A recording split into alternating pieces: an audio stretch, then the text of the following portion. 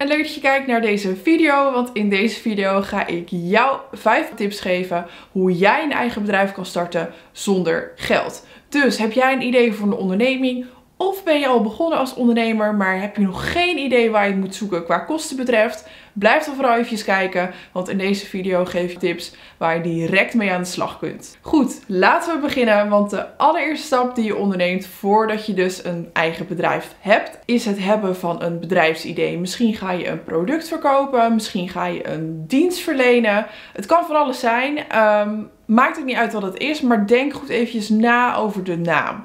Uh, als je een product gaat verkopen, kan ik me voorstellen dat je daar een specifieke naam voor wilt hebben. Um, mijn bedrijf is dus dienstverlening, waarin ik dus mijn eigen naam gebruik. Dit was ook omdat ik echt heel moeilijk vind om een goede naam te, te vinden voor mezelf um, of voor mijn bedrijf. En ik dacht, ja, als ik gewoon mijn eigen naam gebruik, dan is het altijd goed. Want dan kan ik me altijd mee identificeren. Dus vandaar dat ik mijn eigen naam heb gebruikt. Maar daar ben je natuurlijk gewoon helemaal vrij in. Je kan het noemen zoals je wilt. Maar je moet wel eventjes een aantal dingen checken. Um, op de website van de Kamer van Koophandel kun je in het handelsregister checken of je naam al bestaat, ja of nee. Dit is wel een handige richtlijn aangezien je niet dezelfde naam tweemaal kan registreren. Dus kijk er eventjes naar voordat je naar de Kamer van Koophandel gaat. Als jouw naam nog niet geregistreerd staat in het handelsregister, betekent dat dat dus nog niemand gebruik heeft gemaakt van jouw naam en dat je deze naam dus gewoon kan gebruiken.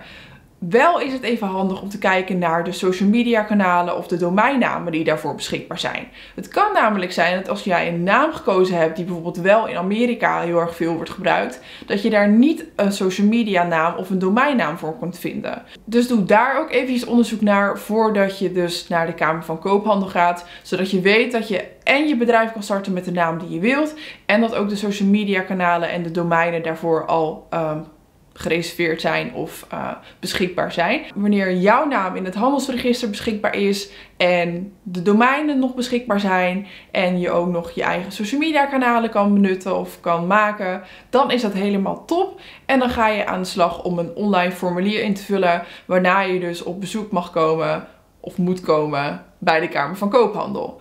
En dat is totaal niet bijzonder. Daar ga je gewoon heen, drink je een bakje koffie, bakje thee. Dan praat je met de medewerker, dan vraagt hij nog eventjes wat je gaat doen. Um, ja, dat is eigenlijk helemaal niet bijzonder. Kruis je een aantal dingetjes aan, je zet je handtekening eronder en daarna moet je 50 euro betalen.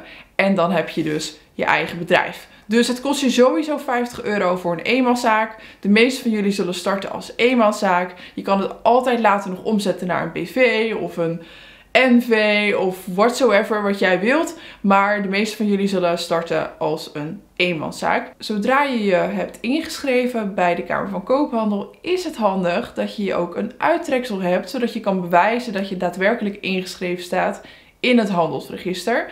Zo'n digitaal uittreksel kost 7,50 euro. En die is digitaal gekenmerkt.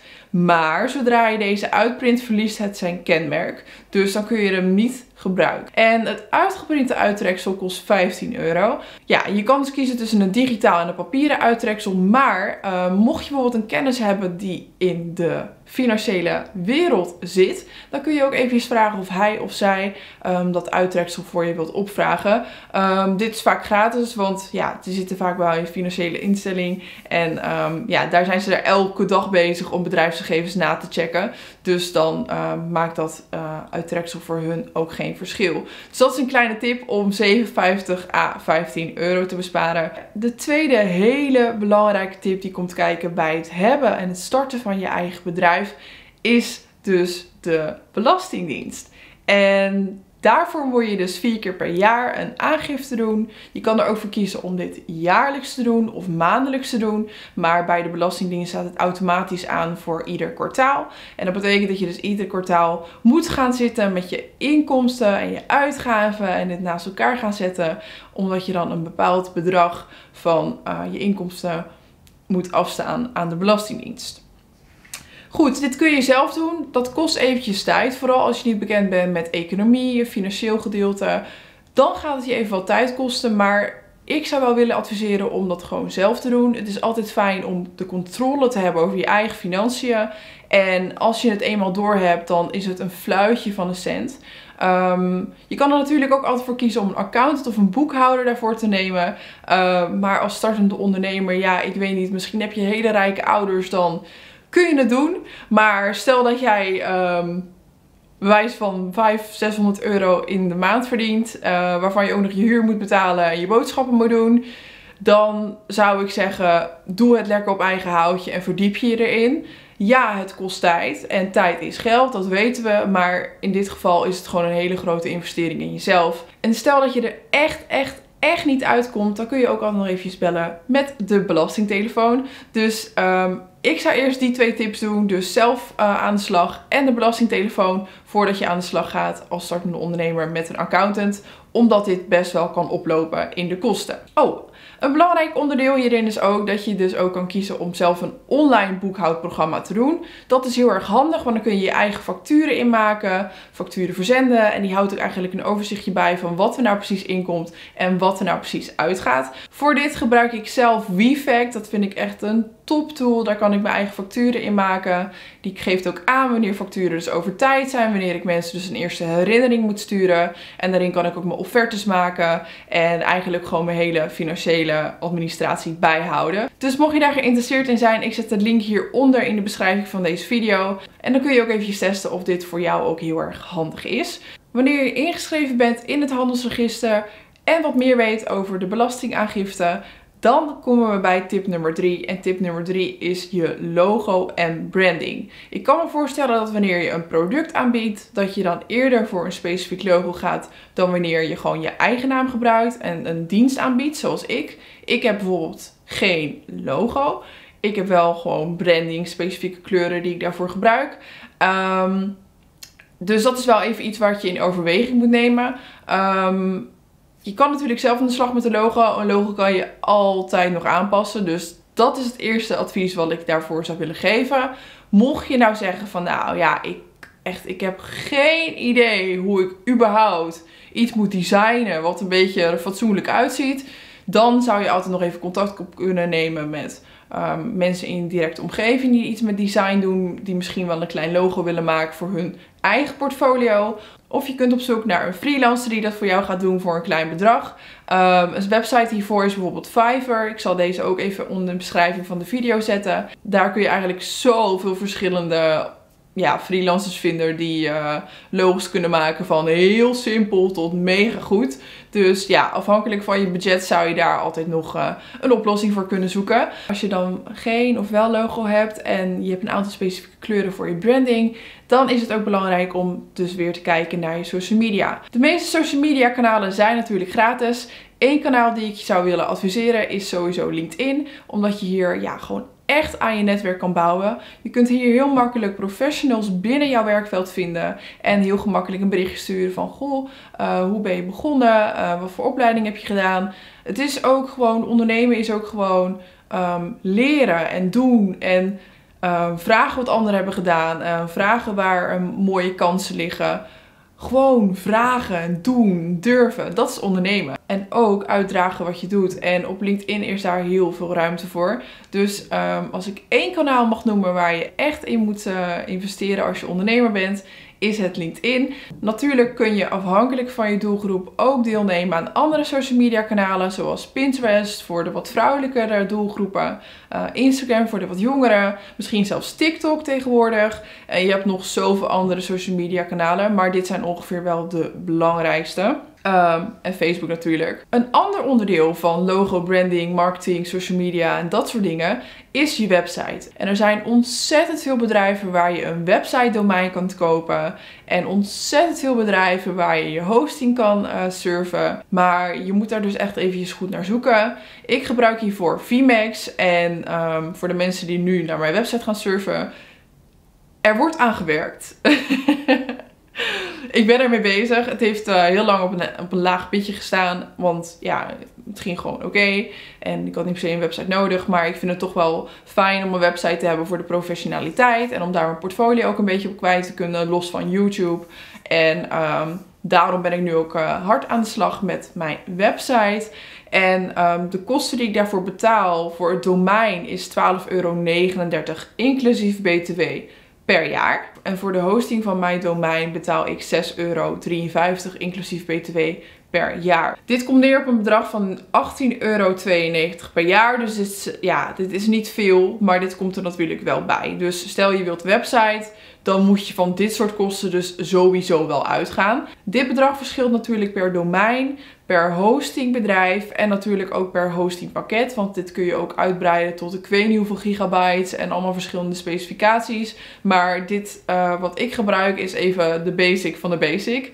Um, want ik vind het altijd een soort van fun om een bedrijf te laten lopen op zo weinig mogelijk kosten. Want ja, zodra ik er geen problemen mee ervaar, is het toch eigenlijk gewoon prima. Dus ik begin altijd met het laagste. Ervaar ik er problemen mee, dan kan ik het altijd omhoog schalen. En als ik er geen problemen mee ervaar, dan is het gewoon prima. En dat is hoe ik het eigenlijk met heel veel dingen doe.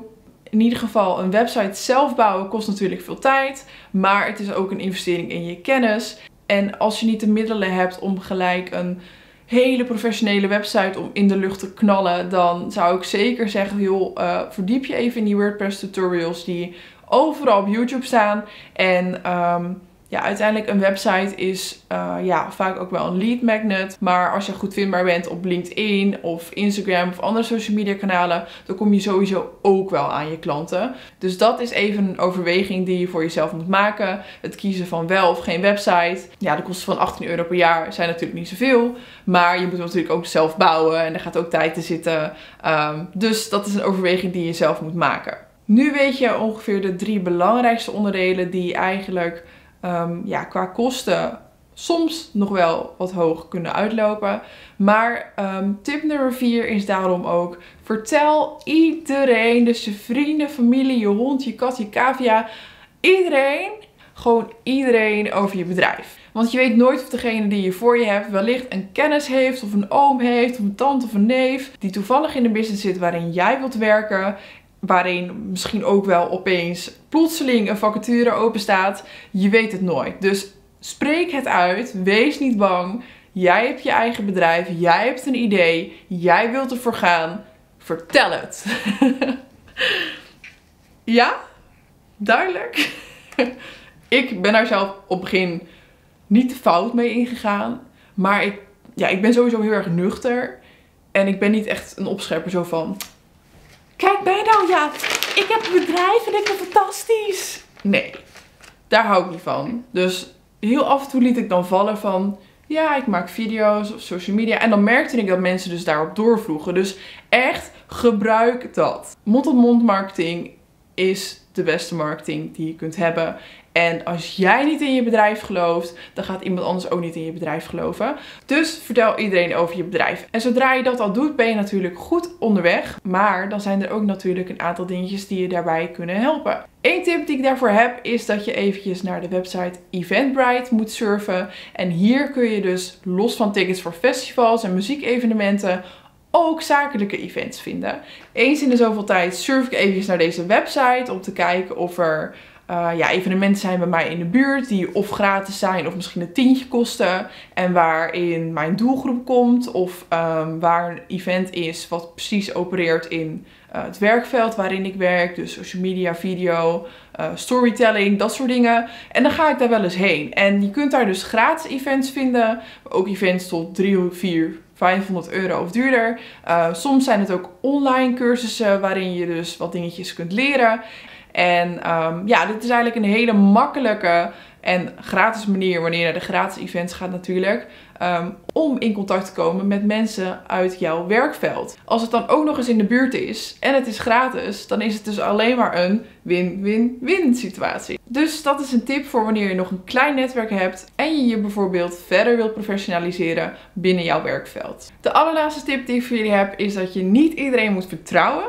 En dat je dus eigenlijk alles moet regelen via een modelovereenkomst, oftewel een overeenkomst van opdracht. Ik zal deze overeenkomst onder deze video even toevoegen, waarna je hem dus kan downloaden. En als je deze downloadt zie je een aantal gele vakjes en die moet je aanpassen naar je eigen onderneming en de periode en uh, de bedragen en de datum en dat soort zaken. Dit is een volledig zelfstandige overeenkomst, dus kijk wel eventjes of deze overeenkomst ook voor jou van toepassing is. Maar hierin staan wel de meeste zaken geregeld, waardoor je dus niet voor verrassingen komt staan.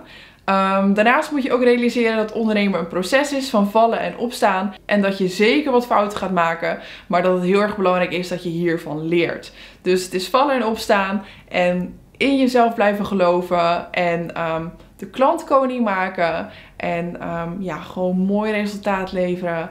En eerlijk zijn tegenover elkaar. Dat zijn eigenlijk alle tips die ik heel erg belangrijk vind in ondernemerschap. Dus ik hoop dat je wat hebt gehad aan deze tips. Laat eventjes weten of je nog vragen hebt, of dat er nog andere tips zijn, um, of video's of onderwerpen zijn waarover je meer zou willen weten. Twijfel dan niet om deze te stellen in de reacties. En dan zie ik je graag de volgende keer. Doeg!